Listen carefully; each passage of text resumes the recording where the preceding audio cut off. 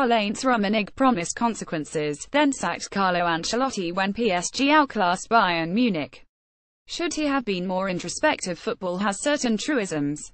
One is it's easier to fire a single coach for poor results than an entire squad. Unfortunately, easy isn't always better. Adhering to that philosophy is reactionary. It's about image, being seen as proactive when in reality you're a reactive. If you were or are a company CEO, you would nt want employees who look like they're working. You'd want ones who are. Certainly, you should nt be setting the wrong example yourself. Yet, that is what Bayern CEO Karl-Heinz Rummenigge has done by sacking Carlo Ancelotti. It's easy to argue the team wasn't responding to the Italian Results demonstrate it's true. That doesn't change Ancelotti's history. This is the manager who has won league titles in Serie A, the Bundesliga, Premier League, and Ligue 1.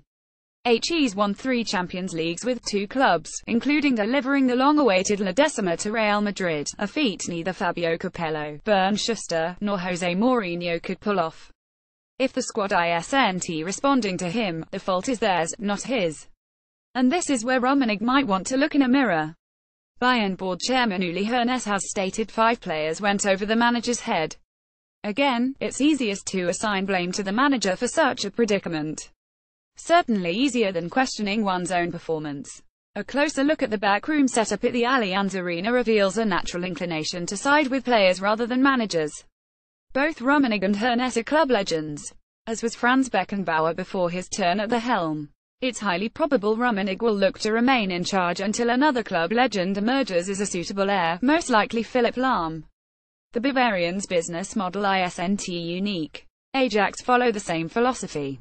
The difference is the Dutch side don't allow old hands to linger over long. Johan Cruyff has been in charge, as has Louis van Gaal. These days, it's Edwin van der Sar. Bad things happen when you cling to the past. The two wisest, if unlikely, voices to touch my life taught me that. It was an underlying theme in J.R.R. Tolkien's Lord of the Rings. The Shire was a happy place so long as the outside world was kept at bay. When modern forces invaded, hobbits weren't prepared to cope.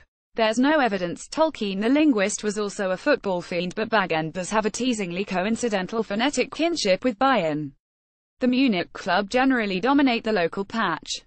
It's when they journey into foreign lands that their hairy feet are exposed. When Frodo, Sam, Merry, and Pippin first embarked on such a journey, seeking to rid themselves of gold rather than acquire silverware, they immediately entered another insular realm.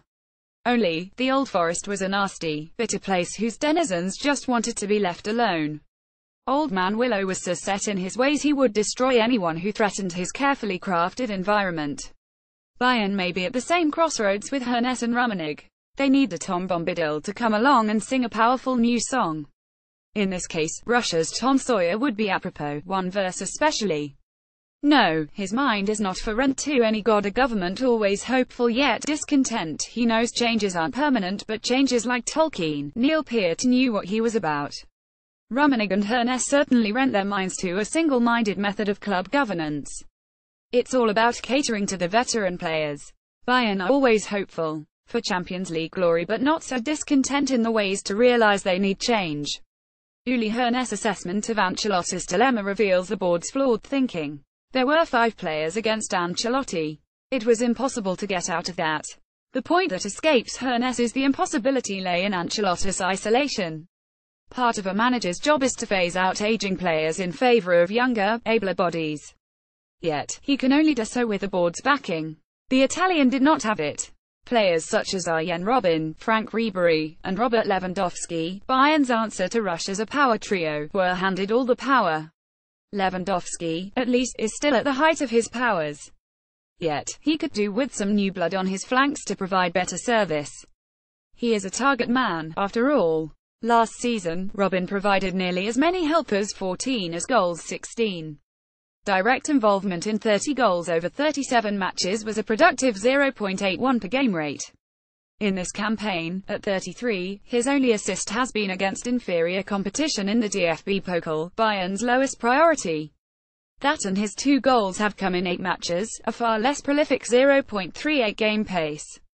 While the Dutchman HASNT publicly criticized Ancelotti, he has withheld his support and promised a written statement. A third wise voice, Peter Parker's sage Uncle Ben, is credited with teaching the Amazing Spider-Man that great power demands great responsibility. Robben is not delivering. Similarly, Ribéry's lone goal and assist over eight matches, this season, came in the DFB Pokal.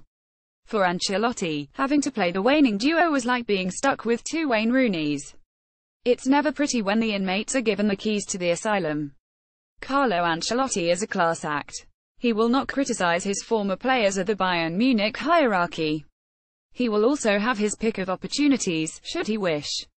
Meanwhile, Rummenigge and Hoeneß are rumored to be interested in Hoffenheim's Julian Nagelsmann as a so-called permanent replacement. Outsiders will view the choice of a young coaching talent as the ideal dovetail for the squad's younger talents. Yet, so long as the old guard holds all the power, it won't matter who takes the reins. He will be impotent. Outside the Shire, at least, so will Bayern Munich.